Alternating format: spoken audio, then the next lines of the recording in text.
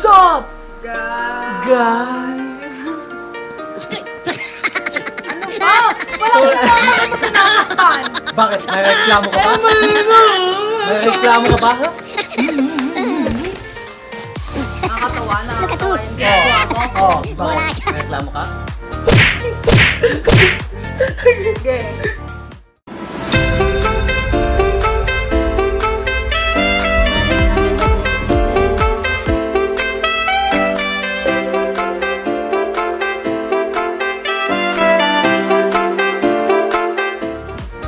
Yun, syempre, pampahaba lang yun ng vlog. Meron kasi siyang binili na product na nauuso sa market ngayon. And ayun nga, since nga yun din talaga yung hinahanap niya, so yun, trinay niya, binili niya. Hindi, baliktad pala, binili niya at trinay niya. Kasi ganito yun, guys. Parati ko nang nakikita sa Lazada yung mga aloe vera products. So may nakita na akong shampoo, may nakita na akong sabon, moisturizer, gel, at kung ano-ano pang klaseng aloe vera, meron pa nga parang hot oil, mga ganun, hot ah, hair spa. Napadaan ako dun sa mumuso. Tapos nung mumuso, yon. Tapos nung na, parang napansin ko sa kan, napakadaming aloe vera na ganun, naka-display. So parang tumingin-tingin ako, may nagikot-ikot ako. Hanggang yon, sana pabili ako na, ipakita mo na.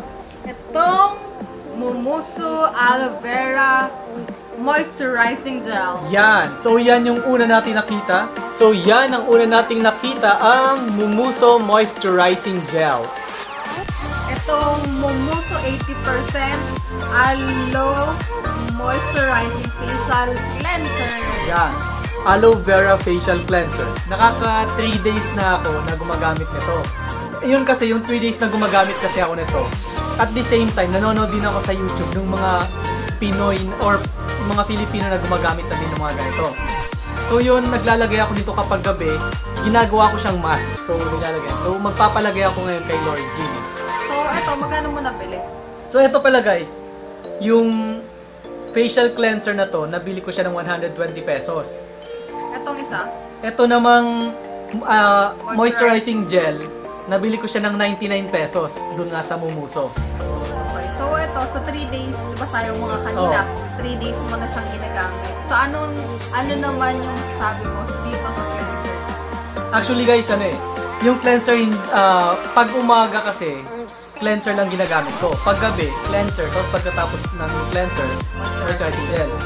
So sa unang, yung first day ko pa lang na ano ah, yung first day ko pa lang na nag-try nito, napakaganda guys, napakaganda na experience ko. Paano Yung- nalaman? Yung ano kasi, nung naglagay kasi ako nito, syempre, gabi na yun yung unang try ko gabi. Kinabukasan, grabe, ano talaga, napakalambot ng skin ko. Pag, pag ginaganon-ganon ko, ano siya, napakalambot niya talaga. Tsaka, napakalambot, tsaka moisturize talaga yung face ko. Ano, ah, nagulat nga ako kasi yung mga ginagamit kong cleanser dati, wash na, parang sobrang dry ng skin mo, parang ganun. Pero yung ano talaga, yung etong moist, ma- nung nag-moisturizing gel ako, napakaganda talaga guys. So, ramdam ko talaga yung ano yung lambot ng face ko. Tapos ano, ah parang ano, hindi yung dati kasi may mga gaspang-gaspang na ako. Nawala siya. So naging smooth na talaga yung skin ko. Tat, ano pa lang nung first day. Nararamdaman ko na, ano siya, yung effect niya. Gumapo ka na ba? Siyempre, lagi tayong foggy. Foggy? Foggy talaga tayo lagi. Hindi ka naman foggy. Maganda ka. Max lang to. Tapos yun pala guys, after nung first day na gumamit ako nito, syempre, na, tsaka pa lang ako tumingin-tingin or nanood sa YouTube ng mga gumamit ng aloe vera. Mga reviews, Oh, gano'n. Tapos, yun nga, nakikita, ang nakikita kong mga ginagamit nilang ganito, ito kasi di ba Mumuso brand, ang nakikita kong ginagamit nila, Nature Republic yung brand. Nature Republic. Tapos, may mga nagko-comment dun sa mga video, ang sabi nila, yung Mumuso brand daw, fake daw pala siya. Or imitation, kumbaga.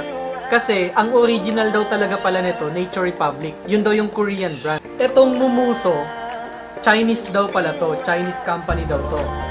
Tapos, ang ginagawa daw ng Chinese company nila, ini-imitate nila yung product ng Nature Republic.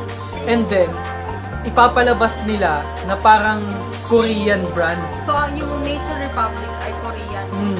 yung Nature Republic is Korean. So, ang ginagawa ng Mumuso, pinapalabas niyang Korean din yung mga product na to. Pero yun nga, sabi ng mga nagko-comment, ah, niwala daw ng Mumuso sa Korea. Kasi talagang Chinese daw talaga yun. Tapos, syempre may mga ano din may mga comparison doon, may mga gumagawa ng video. Ano bang mas maganda? Mumuso or Nature Republic? Ah, ang pinagkaiba lang nila guys sa ano, ayon dun sa mga napanood ko. Mas kumbaga sa ano, mas matapang yung Nature Republic. Yung parang may ano kasi yun eh. Parang may mga Content niya. Oh, yun yung mga content tsaka yung amoy. Yung sa results naman, depende lang talaga daw sa skin mo kung kanino siya mas. So, meron din mga nag-try ng Mumuso products. Ang ganda din daw ng effect sa kanila. Wala silang na-encounter na problem. Yung iba naman, talagang yung Nature Republic daw talaga yung maganda sa kanila. Na so far ngayon, wala pa naman ako masyadong nakikitang ano, ah, may effect na, maga- na hindi maganda yung Mumuso product.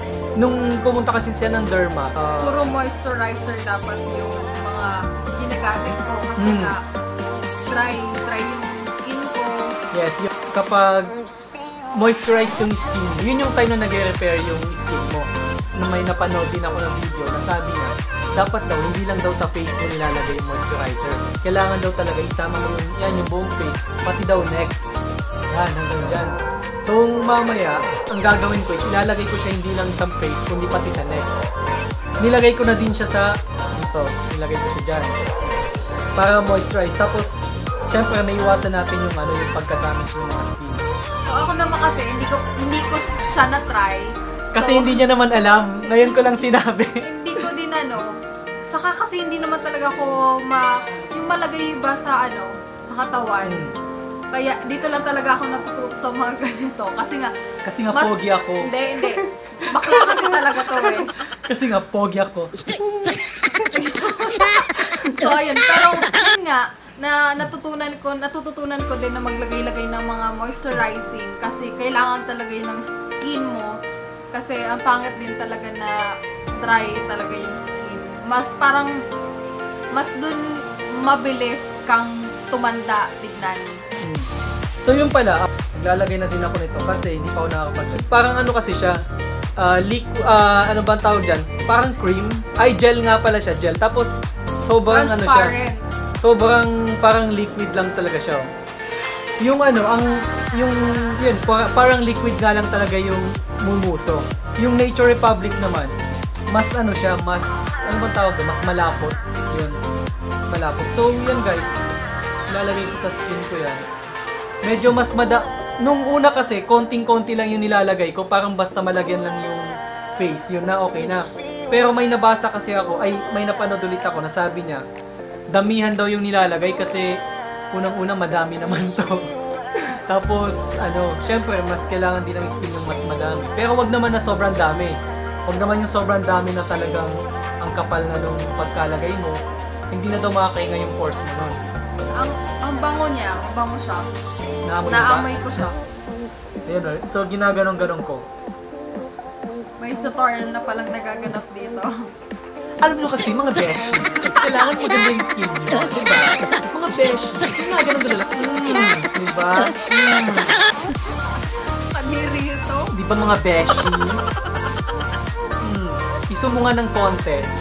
Yan, para makita ng mga beshi natin kung anong nangyayari. O, oh, di ba? O, di ba mga beshi? Kita nyo? Hmm? Pati dyan, pati sa may mata nilalagyan ko na din para ano. Hmm, okay na okay. Hmm. Pero mga beshi, sabi nga sa video na napanood ko, lalagyan pa daw natin yung neck area. So, hindi lang tayo limited sa face. Lagyan din natin yan, oh.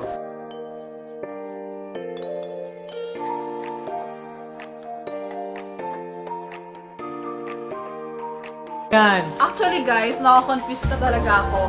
Parang mas babae pa siya sa akin. Ano So, ba? ayan. Bakla ka ba? Hindi naman sa ganun, guys. Pero, kasi, ngayon na lang naman talaga ako nag, ano, naggaganito ganito. Kasi dati kasi, Ano? hindi kasi dati kasi, ah, nung, nung bandang ano, ah, dati nung college ako, talagang inaalagaan ko din yung, ano, yung skin ko. tsaka yung lalo na yung face. So mula nung ano, mula nung siguro mga 4 years ago, hindi na ako masyadong nag ano, naglalagay ng ganito yung mga moisturizer. So parang wala lang, pagkaligo ko lang ano, di ba, nag-facial ka, yun na. Kaya medyo mas madami din nilagay ko kasi i-absorb naman ang skin niya. Kinabukasan guys, for sure, napakalambot ng ano ng mga parts na nilagyan ko niyan.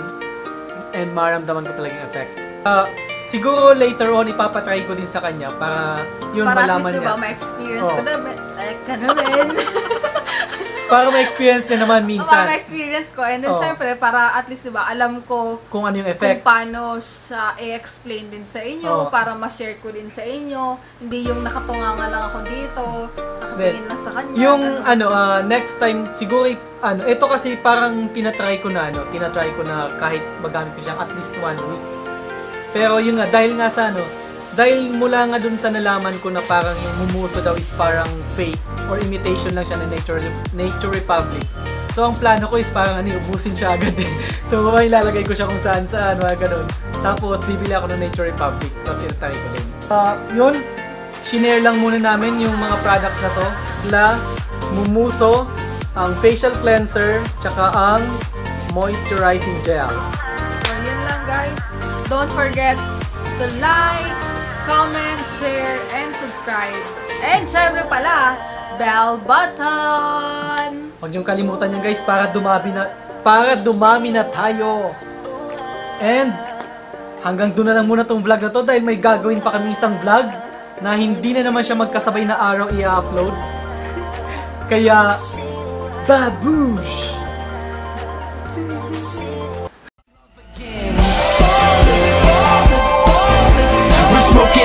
sipping, we're doing it the biggest.